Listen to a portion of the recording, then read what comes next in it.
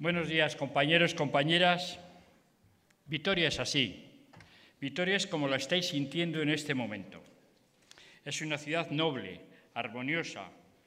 Vitoria es un cruce de caminos, de culturas. Vitoria es naturaleza, es historia. Vitoria es industria, es servicios, es comercio. Vitoria es pionera en políticas sociales y ejemplo de acuerdos y consensos en esta materia. Vitoria era así hasta que pasó por aquí una gaviota y nos dejó a Maroto.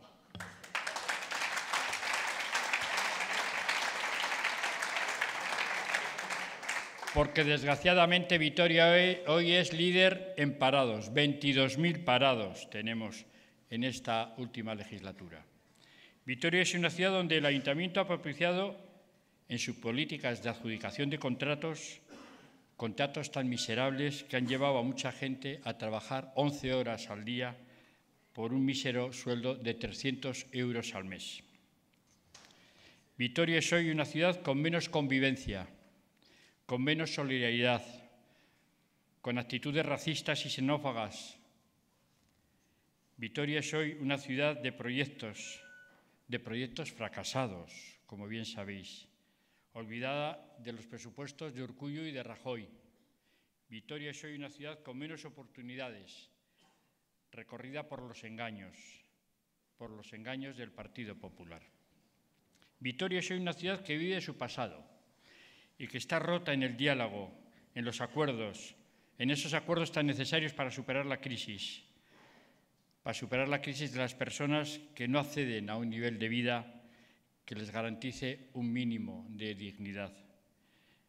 Vitoria es una ciudad que no permite el desarrollo de lo que se merecen sus ciudadanos y ciudadanas en este momento. Porque Vitoria hoy es una ciudad sin oportunidades. Pero esto se puede acabar. Esto se va a acabar, enviando al Partido Popular a la oposición. Esa va a ser la forma de que acabe esta victoria gris y oscura que nos está dejando el Partido Popular.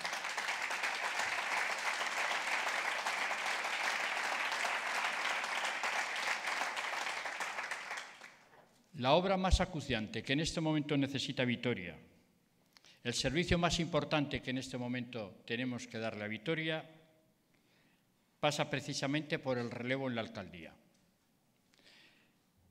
el cambio, la alternativa, si esto lo conseguimos, compañeros y compañeras, todos estos nubarrones que os he enumerado podremos hacer que se disipen. Y yo quiero ser ese relevo, yo quiero ser ese cambio. Un cambio que hago con orgullo, con orgullo de pertenecer al Partido Socialista, de confiar en mis compañeros y compañeras, de disponer de un equipo formidable y sobre todo con el orgullo de no querer que nos den gato por liebre. ¿De quién y de qué se esconde Maroto? Nos preguntamos todos.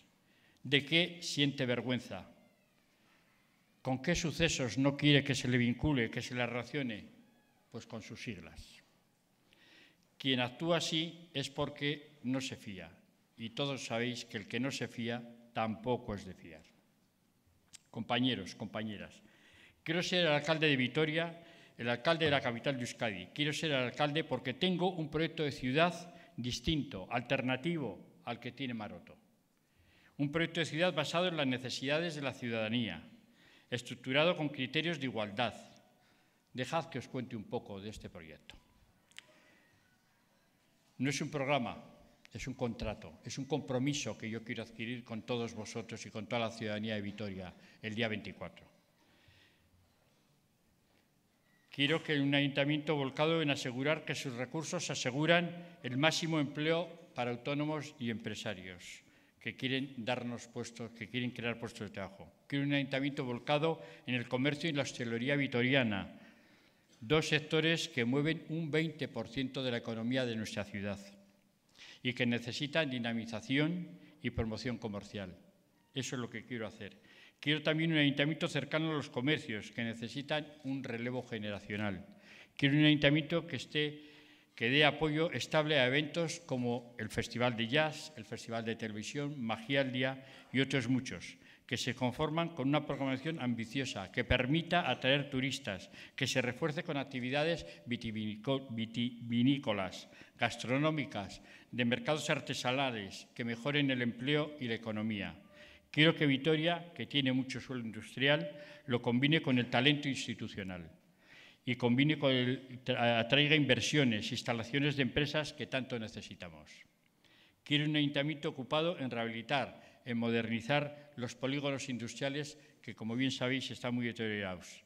Quiero más y mejor transporte público, autobuses renovados, más tranvía, un tranvía que tiene que dar servicio a las nuevas estaciones de autobuses y a las universidades y a los barrios, y con financiación del Gobierno vasco, que lleva tres años el proyecto criando musarañas en todo lo que se refiere a esta materia del tranvía. Y yo quiero acabar con los pisos patera con la esclavitud, con el hacinamiento del que, habla, del que no habla Maroto, porque él es el que la ha propiciado con las bajas tan escandalosas con las que está sacando todos los concursos para las contrataciones de este ayuntamiento. Él es el que está propiciando estas situaciones tan terribles para los trabajadores y él es el que está permitiendo aplicar convenios de Portugal y de otros sitios, que son mucho más bajos que los de aquí.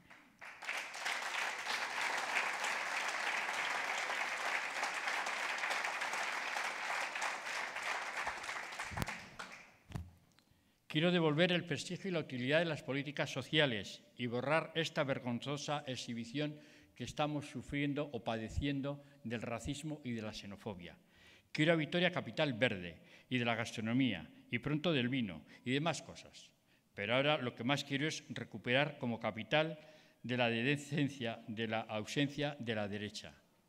Y quiero proporcionar a Maroto, le quiero promocionar a Maroto, Quiero que sea policía municipal, Erchaina, policía nacional, porque es lo que le gusta, es su vocación. Él no ve más que malhechores por toda la ciudad.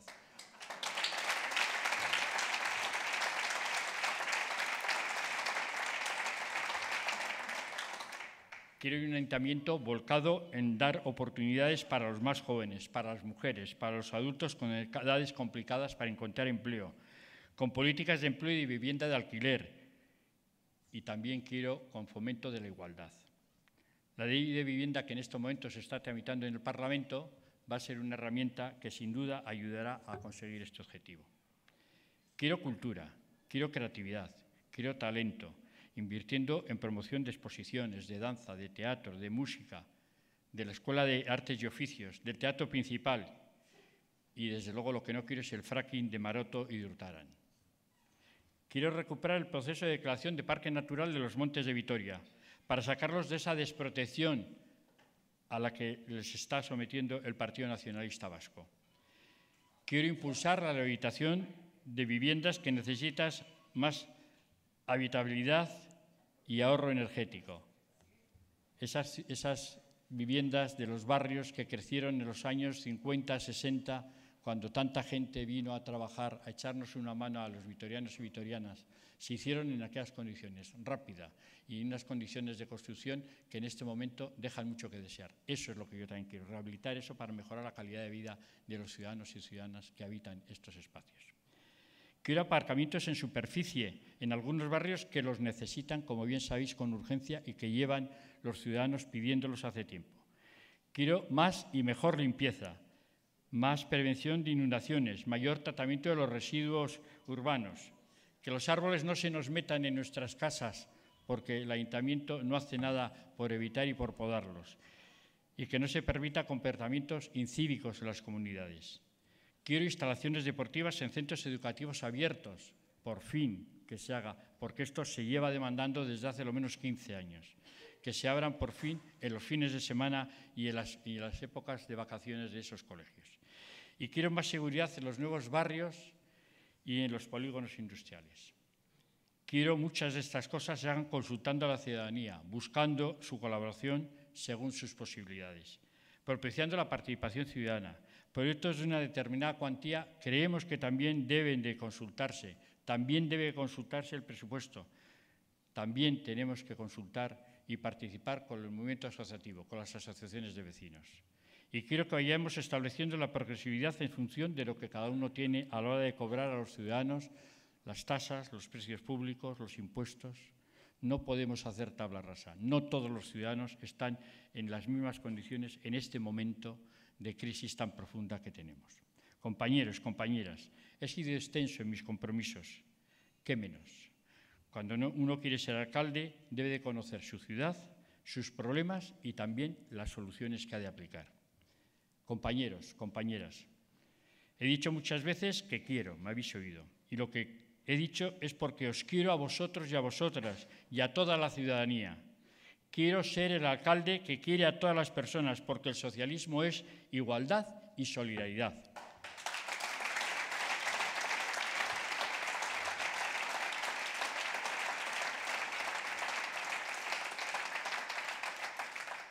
Y en esto también difiero de Maroto Estoy en contra de lo que piensa Maroto. Él parece que va pasando por la ciudad montado en la nube con esa actitud que tiene de mirar a todos de arriba hacia abajo. Muchas gracias, compañeros.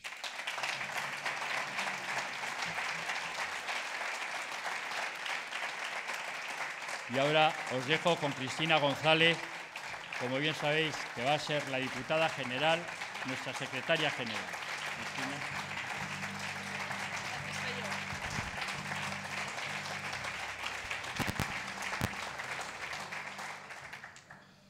Gracias, Pello. Buenos días, compañeros, compañeras. Estamos en la mitad de la campaña electoral. Y en la mitad de la campaña electoral, ¿cuántas cosas se han destapado? ¿Cómo afloran las contradicciones?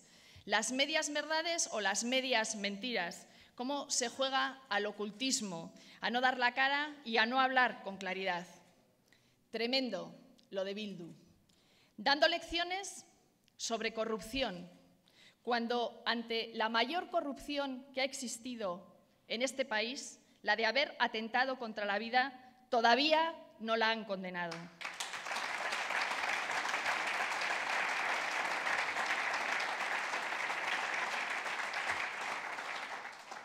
Esperpéntico, por otro lado, lo de Podemos, pidiendo el voto para las juntas generales al mismo tiempo que piden que desaparezcan rancio y antidemocrático lo de Ciudadanos, queriendo retirar a la mayoría de la ciudadanía sus derechos fundamentales de ser elegidos por haber nacido antes de 1978.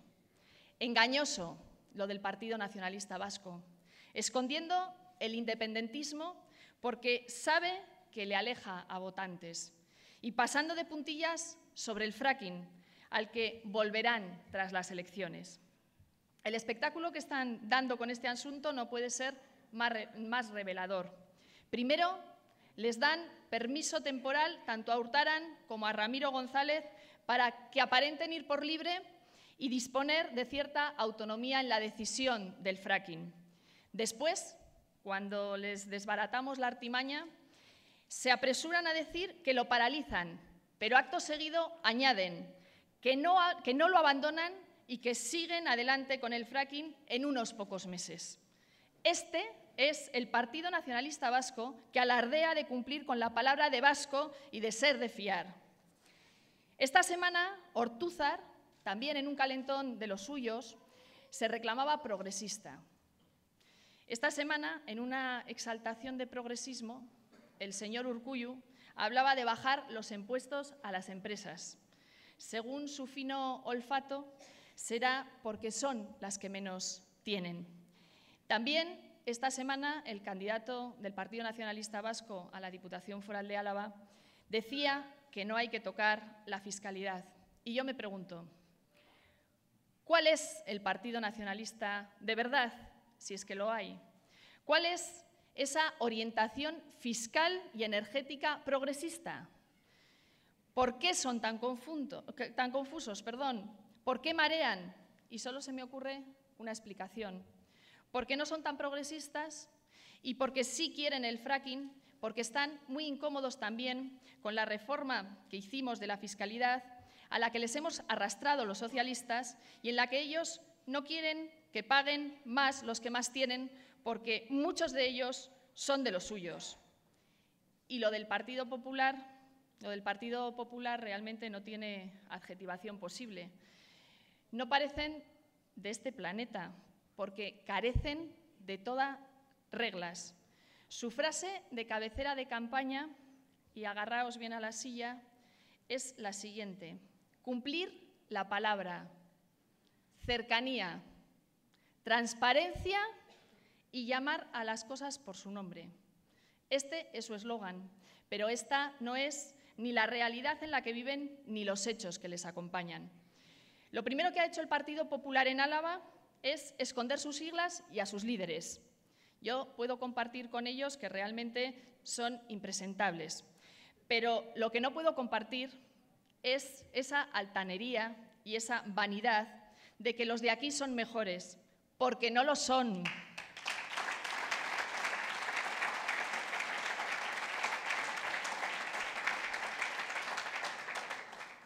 Quien, perteneciendo a un partido político, lo esconde, lo oculta, eh, quien se siente avergonzado de su partido y hace campaña tomando distancia de él para terminar pidiendo el voto, como no puede ser de otra manera, para ese partido, diría que no deja de ser un iluminado que se cree superior a los demás y que carece de cualquier proyecto colectivo.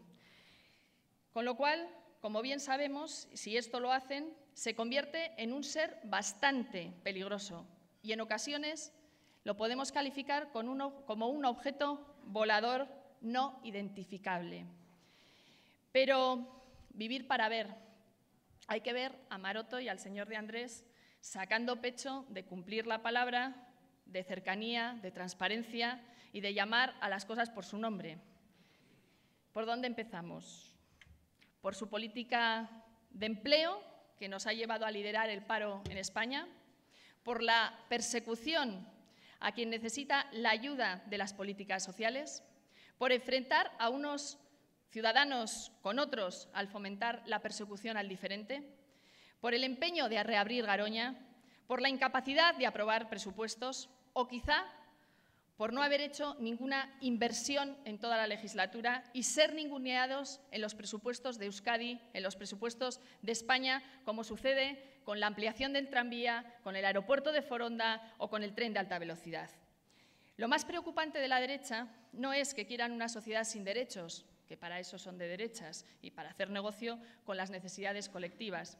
Lo que más me preocupa es que, estando en el ejercicio de la actividad política, no paren de mentir y tratar de confundir a la ciudadanía. El Partido Popular ha pasado la legislatura ganándose enemigos, rompiendo puentes, aislándose de todos y abandonando a su suerte a la ciudadanía. Ha sido un partido que ha sido incapaz de respetar los acuerdos, incapaz de cumplir las decisiones tanto de las Juntas Generales de Álava como del Ayuntamiento de Vitoria. Pero todo esto tiene arreglo.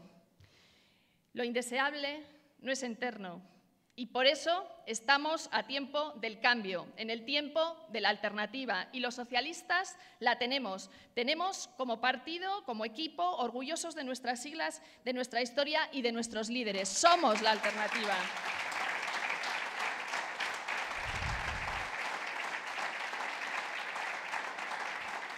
Además estamos dispuestos a mejorar, a corregir errores y a elevar la sintonía con nuestros votantes.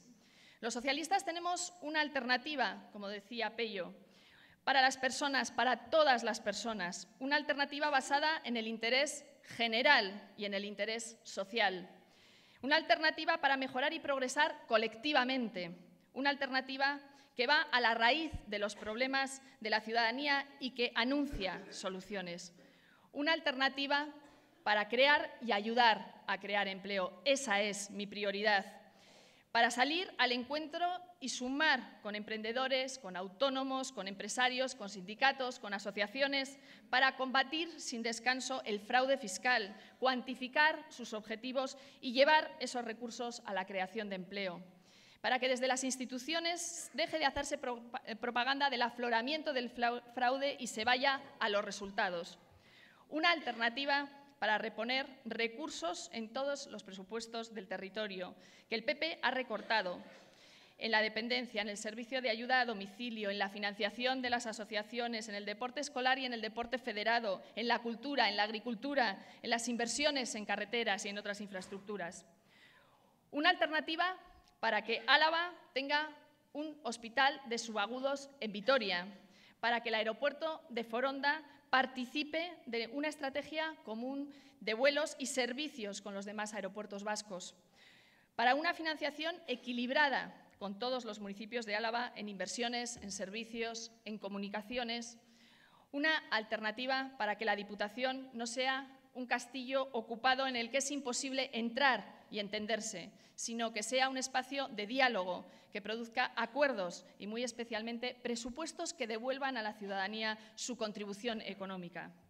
Esta legislatura, como bien sabéis, termina sin presupuestos, y con un superávit de casi 10 millones de euros. Y el diputado general, de este fracaso que pagamos todos los ciudadanos y todas las ciudadanas, tiene la desfachatez de volver a presentarse y de volver a pedir el voto. Tanto fracaso, claro que necesita una alternativa. Los socialistas somos esa alternativa para crear convivencia, para crear tolerancia, para eh, crear eh, respeto al diferente, entendimiento desde la diversidad, en un territorio en el que la derecha del PP ha creado división ciudadana y en el que la derecha del PNV, si puede, también la creará.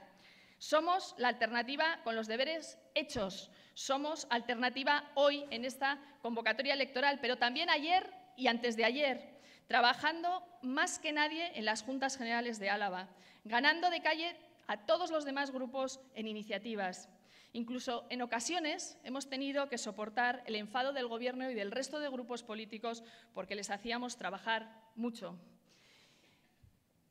Y eran iniciativas compartidas, muchas de ellas con la ciudadanía, porque así nos lo planteaban, y también con las asociaciones, mientras el Gobierno del PP holgazaneaba y el PNV le abanicaba. Quiero, porque es de justicia, reconocer y agradecer el inmenso trabajo de los compañeros y las compañeras del Grupo Juntero, que desde luego no han ahorrado esfuerzos en defender y prestigiar la política socialista y la cercanía con personas y con asociaciones.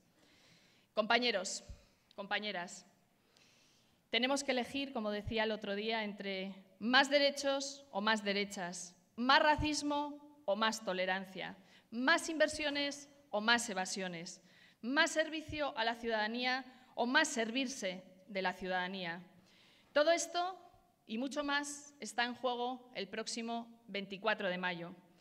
La recuperación de las personas, esa recuperación que no aparece en los objetivos del Partido Popular, empieza por cambiar los ayuntamientos y las diputaciones, por hacer gobiernos de izquierda progresistas que den un giro de 180 grados a la actual política económica y social. Y el socialismo sabe cómo hacerlo. Lo hemos hecho en otras ocasiones y en esta también nos comprometemos a hacerlo. Nos comprometemos con una política realista, ejecutable con nuestros recursos y que nos corresponden y que no, se, no escamoteen los recursos que también llegan desde el Gobierno de Urcullo y también de Rajoy. Y no porque no tengan dinero, no nos lo dan en este momento, sino porque no tienen voluntad y el PNV y el PP de Álava también toleran esta situación. Estamos comprometidos con la ciudadanía alavesa, con todas las personas que quieren una sociedad cargada de valores, de oportunidades, abiertas y de defensa de lo colectivo. Y por eso, en vez de programa, nuestras propuestas forman parte de un contrato con esa ciudadanía, con esas gentes de izquierda y progresistas. Y nuestro contrato no tiene letra pequeña como la tiene el Partido Nacionalista Vasco con la fiscalidad o con el fracking.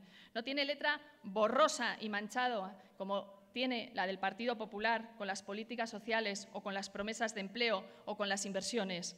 Compañeros, compañeras, en estas elecciones hay muchas siglas, pero solo una, la nuestra, hay que, tenga tres requisitos. Me los habéis oído hablar durante toda la campaña, pero hay que repetirlos. El primero, ser de izquierdas. El segundo, haber defendido la libertad y la igualdad a lo largo de 136 años. El tercero, haber, protagonizado la construcción de los servicios públicos, de los derechos colectivos, de los derechos individuales, de las políticas sociales de las que hoy disponemos.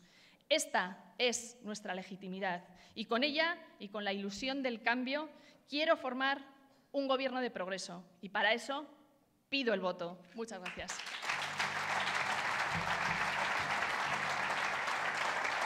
Y os dejo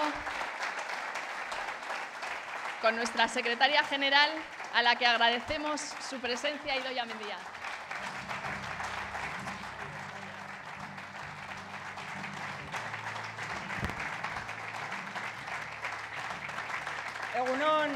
Gustioy, más de una semana de campaña llevamos, hemos cruzado el Ecuador de esta campaña y se nota que va creciendo el ánimo de todos nosotros y nosotras. Va creciendo el entusiasmo. Lo vimos el martes con Pedro, aquí mismo, y lo estamos comprobando día a día. Lo estamos palpando en la calle. Las campañas socialistas, sobre todo, funcionan en el cara a cara en la calle, con el contacto directo, con el roce. Y estos días estamos viendo cómo cada vez más son las personas que se nos acercan a los socialistas, cada vez más las personas que vienen a darnos su apoyo a nosotros, en busca de soluciones a sus problemas, a transmitirnos sus preocupaciones para que nosotros seamos ese cambio seguro que le dé la solución, en busca de políticas que nos permitan construir una sociedad más justa, más igual y más solidaria. Políticas que no se resignen ante esta crisis, políticas que no abandonen a los más necesitados, políticas alternativas a esa derecha y a ese nacionalismo que tanto sufrimiento y división están causando en este país. Lo estás viviendo tú, Pello, y tú también, Cristina. No hagáis caso de aquellos que nos quieren hacer pequeños. Los socialistas siempre ganamos a las encuestas y tenemos muchos ejemplos recientes. Siempre tiramos hacia arriba y el próximo 24 de mayo lo vamos a volver a demostrar aquí en Vitoria y en el conjunto de Euskadi y en España, porque hay otra forma de hacer las cosas, compañeros y compañeras. Hay otra forma de gobernar nuestras instituciones, especialmente aquí en Álava y en Vitoria. Cuatro años de Andreses y Marotos son más que suficientes. Cuatro años del PP en Álava han sido larguísimos. Cuatro años de confrontación entre vecinos de desatención a los que peor lo están pasando, lo contaba Pello, de recortes en los servicios públicos, como exponías tú, Cristina. Cuatro años también de oposición a todo intento de reforma y de modernización de Euskadi. Cuatro años de bloqueo también a las medidas de lucha contra el fraude fiscal, porque eso se ha hecho aquí en Álava. Ese fraude que no le interesa perseguir a la derecha, el de los ricos, los que se pueden escapar a Suiza con maletines. 2.500 millones de euros perdemos al año por el fraude fiscal en este país. Esos son los kinkis que están esquilmando nuestra economía, no otros, no os confundáis. Esos son los verdaderos delincuentes. Y contra ese fraude vamos a luchar los socialistas, aumentando el número de inspectores y agentes tributarios, mejorando el intercambio de información entre las haciendas vascas, mejorando y publicando el nombre de los, los, nombres de los condenados por delito fiscal y blanqueo de capitales. Tenemos derecho a conocer los nombres de los defraudadores, pero el PP y el PNV siguen diciendo que no. Siempre están a la contra de ese fraude, no quieren combatir el fraude fiscal con determinación.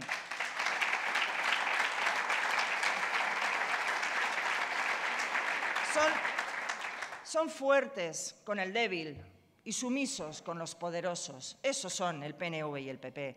Y siguen gobernando para esa minoría que sigue enriqueciéndose con la crisis económica. Mirad, los socialistas no queremos estar en las diputaciones para decir siempre que no al gobierno vasco. No queremos estar en las diputaciones para paralizar todo lo que no nos guste. Los socialistas queremos estar en las diputaciones para sumar fuerzas, porque eso es lo que necesita este país, para avanzar unidos, todos juntos. Los socialistas queremos estar en las diputaciones y en los ayuntamientos y en el gobierno vasco para construir un país más justo y más igualitario, para tender puentes entre todo el mundo, porque sabemos que este país no se puede construir unos contra otros, tenemos que tender puentes que nos unan, porque sabemos que las grandes conquistas en este país se han logrado cuando nos hemos puesto de acuerdo los que pensamos diferente. Ez ditugu diputazioak gobernua etengabe geldiarezteko nahi. Ez ditugu diputazioak beti esetz esateko nahi. Diputazioak, udalak eta euskau jaurlaritza bezala, denok batera Euskadi indartzu eta moderno bat eraikitzeko nahi ditugu. Iritarren alde indarrak batzeko, Euskadin ezin dugu batzuk besteen kontra eraiki. Denok batera, aurrera egin behar dugu, krisiari erantzun egoki bat emateko. Y por eso, por eso, compañeros y compañeras, amigos y amigas, son tan importantes estas elecciones del próximo 24 de mayo.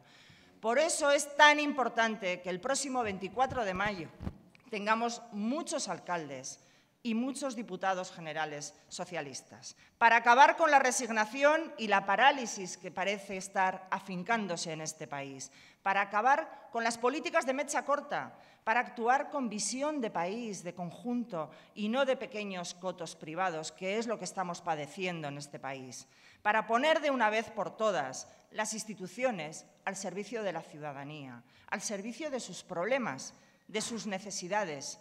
Solo los socialistas ponemos Álava en el centro de nuestras políticas. Solo los socialistas hacemos de Vitoria una capital, porque a Euskadi, a Álava y a Vitoria les va bien cuando gobernamos los socialistas.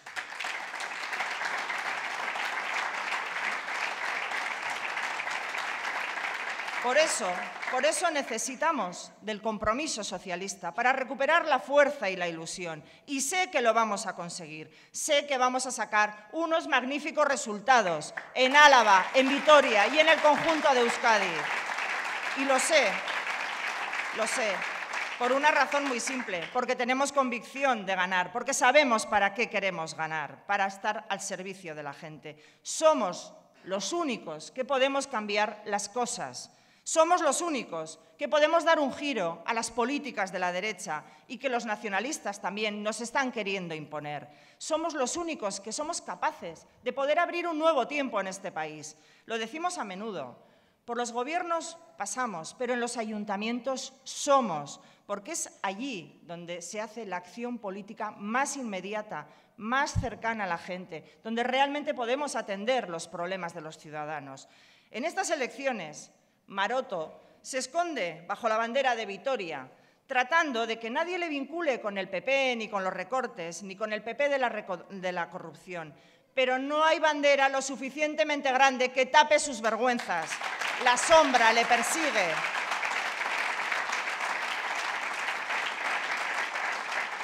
Y hoy, hoy le tenemos aquí en Vitoria, en Sansomendi, el Rajoy de los recortes, el Rajoy de la corrupción. Ese está hoy aquí en Vitoria, mano a mano con el alcalde de la xenofobia y de la discriminación, y son la misma cosa. Rajoy en Vitoria se llama Maroto, no os confundáis, y no hay bandera ni vídeo musical que sea capaz de ocultar esa verdad.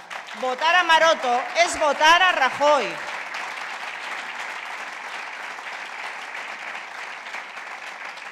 Rajoy eta Maroto gauza bera dira, murrizketak eta ustelkeriaren alderdia, ezin dute eskutatu egi hori. Pero no son los únicos a los que estas elecciones no les importan. El PNV y Bildu están de paso en estas elecciones. No les interesan los ayuntamientos. Su única obsesión, y lo podréis escuchar, es avanzar en el derecho a decidir. Su única